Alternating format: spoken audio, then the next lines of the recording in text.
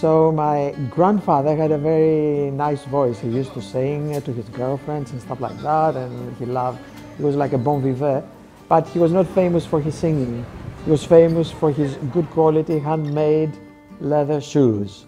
Even the royal family would visit him for their hiking shoes. My grandfather died very young. He was only 54.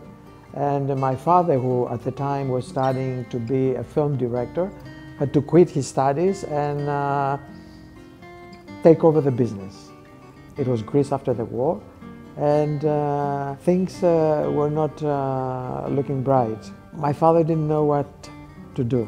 And then, all of a sudden, an angel walks uh, through the door of our workshop. It's uh, an English lady, a choreographer, who places an order for six pair of uh, ancient Greek sandals. My father made those uh, sandals for this uh, English lady, but uh, he loved the idea and uh, he made some extra sandals for the shop. The rest is history. The American girls who visited their boyfriends who were stationed here in Greece as soldiers saw those sandals and they went crazy.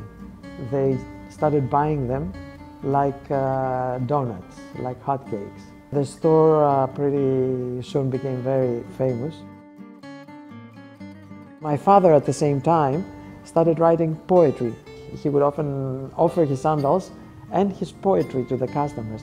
So we became famous as the poet sandal maker, which I have uh, kept, you know, this title because I'm also a poet and a sandal maker and a painter and a musician.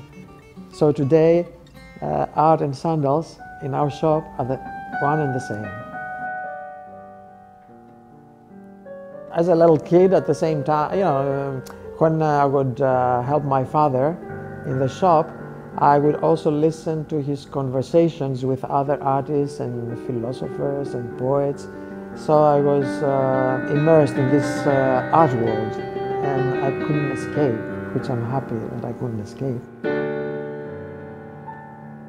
When uh, the customers come in, I see them as actors I feel that I have to provide them with uh, the best footwear that, can, that they can have. You know, footwear sandals that they're going to make them feel like ancient Greek gods or goddesses.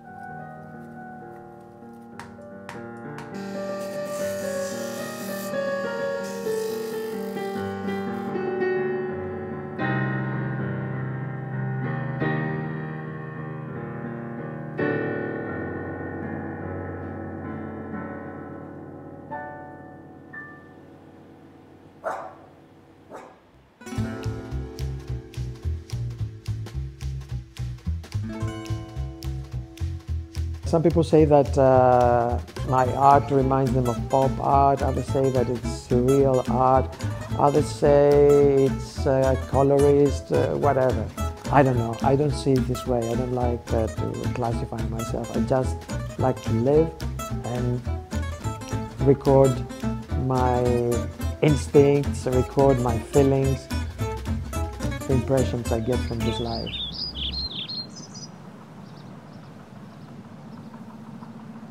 So this uh, erotic poem, it's called The Lovers. I wrote it when I was uh, 20 years old and uh, I rewrote it uh, recently and here it is. As ether flickers and chimes, its clock remodels the room where shadows, lights and rhymes steam up with bliss and gloom. The lovers turn into flowers, red buds that sprang at dawn. The late night cheering hours departed singing a song.